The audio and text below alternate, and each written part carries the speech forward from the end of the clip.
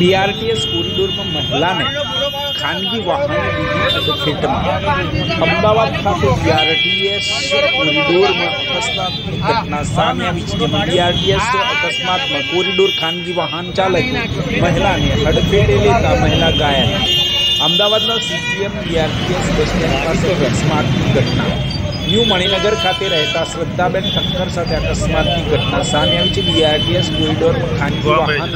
પ્રવેશબંધી હોવા છતાં અવરજવર કરવામાં આવે છે અને બેફામ ચાલતા વાહનો અકસ્માત સર્જે છે. આ બીઆરટીએસ કોરિડોરમાં વાહન સાથે ગાય પણ જોવા મળી હતી.